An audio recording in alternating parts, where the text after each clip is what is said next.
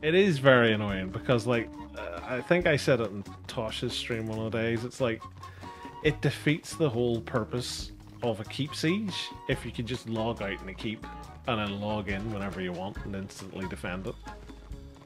Like, it's it's stupid.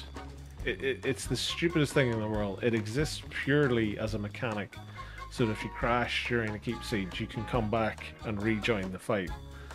And it's just being abused at this stage, just to allow people to log out in a keep and just instantaneously appear for a defense. People do that? Yeah. All of the time, dude.